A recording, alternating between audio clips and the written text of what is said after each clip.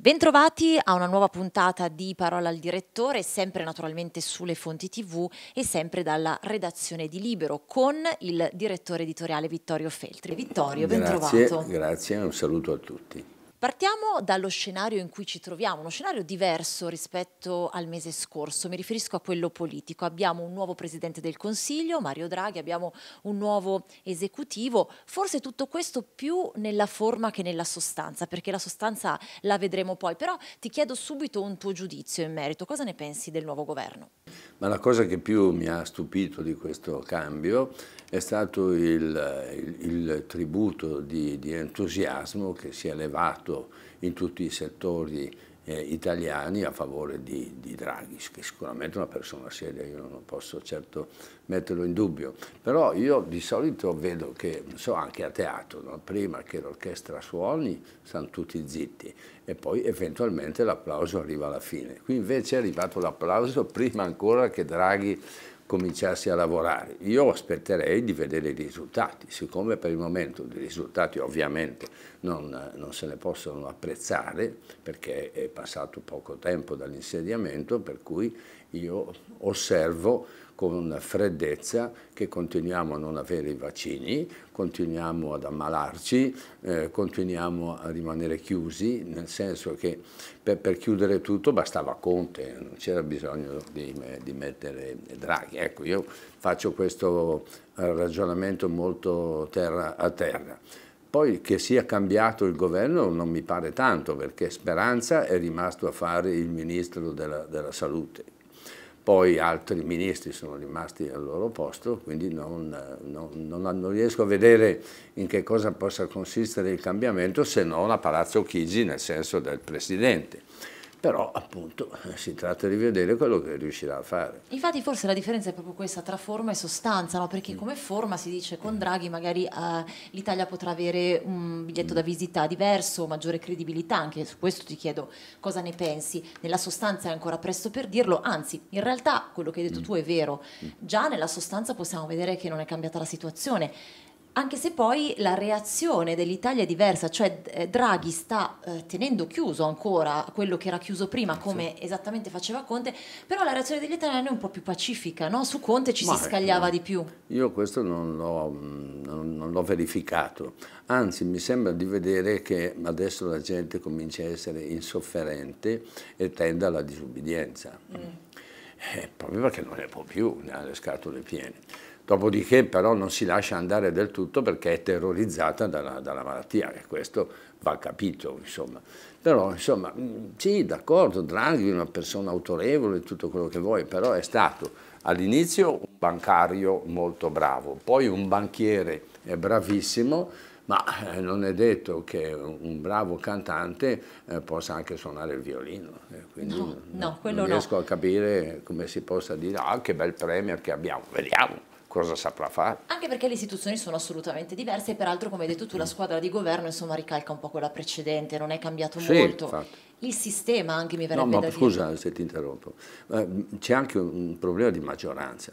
La maggioranza è diciamo composita, è una specie di di zoo dove ci sono tanti animali diversi l'uno dall'altro. Non riesco a capire come si possa guidare una squadra siffatta. Ecco, questo credo che anche per Draghi sia un bel problema. Infatti questa sarebbe stata la mia prossima domanda e te la faccio subito, l'hai già definito uno zoo questo, questo governo proprio per la presenza di anime diverse. Eh. L'unica parte che è rimasta fuori è eh, Fratelli d'Italia di, di, Giorgia Meloni, eh, quindi non credi tu in un governo di unità nazionale così come viene definito, cioè il fatto che più forze politiche riescano a collaborare insieme? No, non sei... No, non, non sono tanto d'accordo anche perché le forze politiche sono una diversa dall'altra dall'altra. Faccio un esempio che, eh, non so, Salvini è favorevole alla chiusura dei porti, poi invece abbiamo la Lamorgese che è rimasta al posto suo, cioè al Viminale, che invece apre a tutti i cani e porci. E allora come si fa ad andare d'accordo?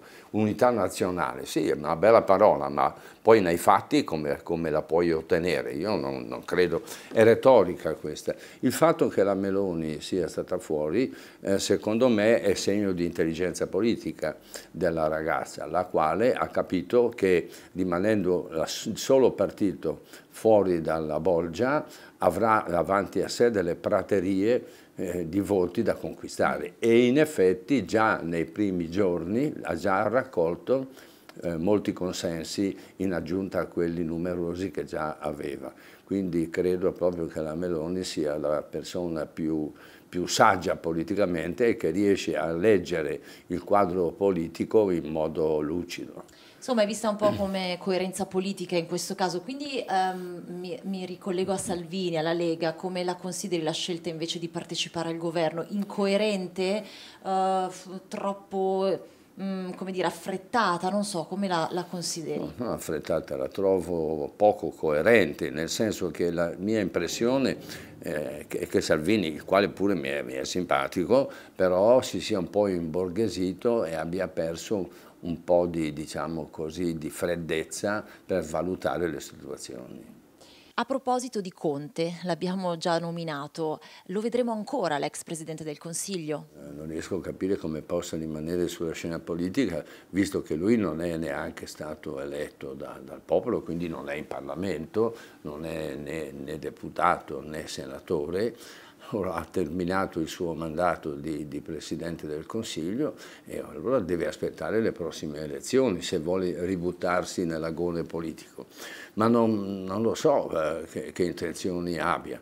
Comunque, indubbiamente, eh, Conte c'è stato un periodo in cui la sua popolarità è stata molto elevata e lui è stato anche apprezzato poi però quando la gente ha visto che le cose non cambiavano e che si rimaneva sempre tutti in stato di paralisi, ha cominciato un po' a sbuffare. E adesso che se n'è andato nessuno ne parla più. Mm.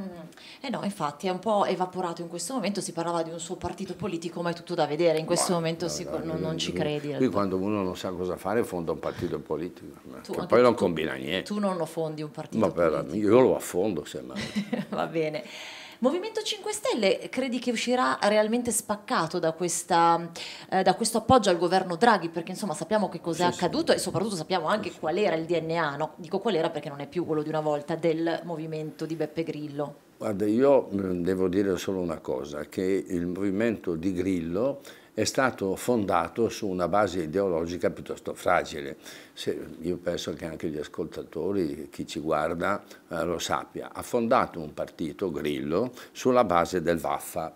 Vaffa cosa vuol dire? È diciamo, una forma contratta di vaffanculo, per cui penso che questo partito sia destinato ad andare a fanculo qualcuno c'è già andato, cioè mi ragazzi, cioè, sì, tipo, no, si sono senso, in senso buono, sì, per esempio no, di eh, Battista certo. che è sempre stato quello che sì, invece più, eh, perché bisogna dirlo, coerente no? a, al, al, DNA del Movimento 5 Stelle iniziale, nel momento in cui c'è stato l'appoggio a Draghi, eh, niente, si è, si è, fatto da parte. Guarda, le vicende interne del Movimento 5 Stelle mi appassionano poco. Va bene, quindi cambiamo discorso. eh, va bene, sicuramente. L'ultima domanda sull'altro partito di maggioranza, adesso sono quasi tutti i partiti di maggioranza, il Partito Democratico anche lì sembrerebbero esserci delle frizioni effettivamente, forse per motivi diversi, non so, per aver tra virgolette accettato anche se non potevano fare diversamente partiti come la Lega in maggioranza no? con i quali non hanno niente a cui eh, eh, vedere insomma eh. eh lo so eh, infatti sono dei, dei, matrimoni che non possono durare questo ce lo dobbiamo dire dopodiché può darsi che Draghi riesca a mediare a tenerli insieme per qualche mese ma non credo eh, molto più a lungo io sono convinto, sono convinto che mh, il Partito Democratico abbia subito più danni eh, non tanto dal, dall'avvicinamento con, con la Lega, ma dal fatto che ha trascurato le donne. Intendiamoci, donne che fanno politica sono sempre poche, una netta minoranza, per cui diventa difficile anche promuoverle, perché se tu scegli su un, bacino maschile molto vasto, quattro scemi li trovi, mentre invece se le donne sono poche fai più fatica a, a sceglierne alcune da, da mandare al governo. Però insomma è anche un problema proprio di, diciamo, di immagine, non inserire de, delle donne diciamo, del partito eh, ha penalizzato questo partito perché la, la Morgese non è iscritta al PD, no, no? No, la, la, Cartabia è tutt'altro eh, che, che, che, del PD, insomma sono donne brave, quindi la, per trovare delle donne brave devi uscire dalla politica anche per mettere in posti di responsabilità. E la Cartabia e la Lamorgese sono la dimostrazione. Insomma, sempre di più la politica che fallisce, nel senso che un, sarà qualcosa di retorico, ma è vero, no? sempre più figure esterne, tecniche, eh, perché sì, fa, non piace questa parola, però è realmente sì, così, sì, che si mettono a disposizione della politica. Considerando però quanti politici ci sono, effettivamente è abbastanza poco rassicurante per, per il sistema politico italiano. Eh, Poi, C'è una mediocrità nel mondo della politica che eh, si è accentuata negli ultimi anni, questo dobbiamo dirlo, dopodiché anche in passato non è che ci fossero solo dei campioni del mondo, però adesso siamo veramente rasoterra. Come in tutte le cose, assolutamente. Allora, arriviamo all'argomento più spinoso, credo che tu sia d'accordo con me, direttore, nel momento che è quello dei vaccini, che peraltro si inserisce in quello che già abbiamo raccontato, cioè nella mm. panoramica legata al Covid, alle restrizioni, che eh, nonostante insomma, il governo sia, tra virgolette, cambiato, almeno la guida, insomma, più di tanto non potrà fare, se la situazione esterna non cambia, cioè quella dei vaccini. Eh, siamo in una, un momento in cui ancora mh, davvero eh, ci rendiamo conto quanto poche persone stiano, eh, eh, siano vaccinate e quindi questo dilata i tempi, cioè non c'è minimamente una luce all'orizzonte per questo motivo. Sì, ma c'è una, una, spiegazione molto semplice e triste. Eh, noi ci siamo affidati all'Europa perché facciamo parte dell'Europa come se fosse un grande onore, un grande privilegio essere in Europa, in realtà l'Europa non è stata capace di comprare i vaccini, quindi vuol dire proprio che siamo di fronte non tanto a un ente inutile ma a un ente dannoso questo dobbiamo dircelo. Una lezione in questo senso eh, ci è venuta dalla Repubblica di San Marino, che è uno sputo, no? come sappiamo sono 36 o 37 mila abitanti, sì. dove il governo locale, che è un governo terra a terra, nel senso che i, governanti hanno i piedi per terra, hanno comprato una quantità sterminata eh, di vaccini dalla, dalla, dalla, Russia, il cosiddetto Sputnik, e adesso stanno eh, vaccinando tutta la loro popolazione. È quello che doveva fare anche l'Italia se non comprava lo Sputnik ne comprava un altro, invece l'Italia non ha comprato niente perché impossibilitata eh, dal, dal, gesso impostoci eh, dall'Europa. Allora se stare in Europa ci, ci, porta lo svantaggio che non possiamo neanche comprarci i vaccini, vuol dire che è meglio fare come l'Inghilterra. Attraverso la Brexit ha conquistato una tale libertà per cui adesso Gran Bretagna, in Gran Bretagna si, si, si fanno vaccini a tutto spiano mentre da noi non si fa niente, si fa poco, si fa poco, poco certo. e che non serve diciamo, a risolvere il eh, problema della malattia e dei contagi nel nostro paese. Allora, cosa bisognava fare? È, è chiaro che il vaccino è un prodotto, qualsiasi, come tutti gli altri, non so, come le cravatte, come le mutande, eh, come, come, la frutta e verdura. Dove si, com dove si compra? Su, su, al mercato, no? Al mercato questa merce. E allora anche il vaccino, che è un prodotto, si compra sui mercati internazionali con i soldi in tasca si va e si compra, un po' come è stato fatto per le mascherine su, sulle quali adesso c'è uno scandalo cretino, perché le, le mascherine non c'erano, poi sono arrivati dei signori bravi e furbi che hanno fornito all'Italia milioni eh, di, di, mascherine, ovviamente facendoci la cresta, perché nessuno lavora per, lav niente. lavora per niente. Do ut des è un principio millenario, quindi dov'è il problema? Però le mascherine sono arrivate, prima non c'erano. La stessa cosa andava fatta col vaccino, si va sul mercato internazionale con i soldini in tasca, tasca e se costano di più eh, rispetto diciamo, ai canali eh, istituzionali. istituzionali. chi se ne frega. Poi i vaccini non è detto che si debbano fare gratis a tutta la popolazione, si fanno gratis ai 5 milioni di poveri che ci sono in Italia che altrimenti eh, sarebbero in difficoltà. Tutti gli altri paghino il vaccino 50, 60, 100 euro, per l'amor di Dio non ci mancheranno 50 euro in tasca quando spendiamo 100 euro per andare a sentire dei concerti di musica valorda, eh, quindi, oppure allo stadio, andiamo allo stadio, spendiamo... Eh, sì, sì, ma anche perché tanto se non ci vacciniamo non possiamo più andare neanche ai concerti o allo stadio, da nessuna non parte, niente, da nessuna eh, parte. quindi, quindi questo è il problema dei vaccini andavano comprati, ma nessuno qui ha osato farlo perché l'Europa, ecco. il terrore dell'Europa, ma un'Europa che ti impedisce di prendere i vaccini è un'Europa dalla quale scappare. Ma più che altro, certo, quello sì, e soprattutto nel momento in cui le aziende farmaceutiche mm. non rispettano i patti presi con l'Europa, no? Perché sì, ma bisogna vedere che... come sono i contratti, certo, ma certo. sì, i certo. contratti li ha fatti la gallina La gallina, si chiama gallina, non è che sia una gallina. No, no, no, ti stavo dicendo, specifichiamo che assolutamente... Eh, ha fatto dei contratti a capocchia e adesso siamo in questa situazione. Assolutamente, sì, adesso si sta agendo un po' al contrario della serie. Draghi ha puntato un po', eh, ha battuto sì, i pugni dicendo sì. eh, le aziende che non rispettano i patti vengano poi penalizzate. Sì, però... Sì, penalizzate e non gli compri il vaccino eh. e quindi già non lo compriamo, quindi che penalizzazione è? No, ci Anche Draghi, noi. Pugni sul tavolo sono capaci anche io di darli, invece bisogna agire, agire, comprarli questi vaccini dove ci sono, non in Europa dove non ci sono.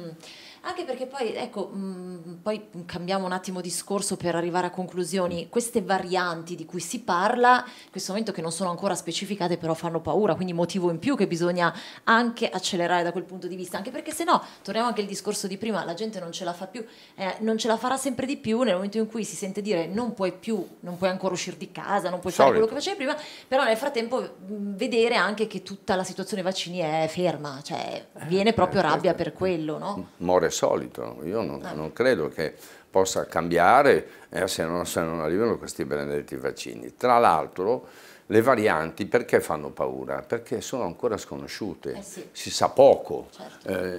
eh, gli stessi specialisti hanno dei dubbi, però eh, io ho parlato con, con Burioni e mi ha detto che le, le, le, varianti vengono eliminate da, da, dai vaccini normali che sono, che sono, in commercio, che sono in circolazione, quindi io personalmente non, non mi sono tanto spaventato mi rendo conto che chi non è meglio informato possa anche essere terrorizzato sì, sì. da queste nuove forme misconosciute. Sì, sembrano quasi delle figure mitologiche in questo momento, se non ci chiariscono effettivamente la paura poi continua a esserci. Adesso ovviamente una domanda sull'economia, perché chiaramente in questo contesto siamo assolutamente penalizzati e limitati, cioè dobbiamo cominciare a ragionare sulla crescita e invece non possiamo ancora farlo, perché addirittura se pensiamo alla ripresa, non di crescita, crescita, perché anche qui c'è da fare la differenza. Noi dobbiamo puntare alla, alla crescita, ma per ora intravediamo solo la ripresa nel 2022, neanche quest'anno. Sì, ma scusa, cosa vuoi che cresca? Eh, l'economia italiana quando molte attività sono bloccate, tutto il terziario è bloccato, i bar sono bloccati, i ristoranti sono bloccati o semi bloccati, poi i colori qui cambiano ogni 5 minuti, non si capisce niente. Poi il turismo è, è bloccato, eh, diciamo le attività ludiche eh, sono eh, quasi tutte bloccate, le palestre sono chiuse, insomma c'è un settore che, che, vale più del 10% di PIL che è immobile, che non può fare niente. Ovvio che questo incida sul bilancio totale eh, dell'Italia. Quindi è un'illusione par parlare di, di, ah adesso cresciamo, ricominciamo, ricominciamo per niente, fin tanto che non saremo vaccinati, fin tanto che le attività terziarie non riprenderanno a pieno ritmo, noi saremo in una situazione molto molto delicata. Esatto, con tutti i settori penalizzati. Facciamo così in chiusura, Vittorio, visto che noi abbiamo anche in sospeso tante questioni, eh, cioè, eh, lo, so. lo, so. lo so, però eh. purtroppo dobbiamo accantonarle perché... È il freno del virus, il, il, il, nostro virus. nemico è il Covid. Facciamo una, però una, una sfida quando i vaccini saranno realmente, eh, come dire, sulla strada giusta, sì. allora lì ne riparleremo. Sì, quando l'avremo fatto tutte e due esatto, il vaccino. Volevo dire quello, ma così almeno siamo sicuri. Eh, chiaro, non diamo scandalo, no, non servono scandali. Anche buon esempio. Diamo. Anche buon esempio, sì. assolutamente. Grazie eh, direttore Vittorio Feltri, piacere. ci vediamo il prossimo mese sempre con Parola al direttore. Grazie. Grazie.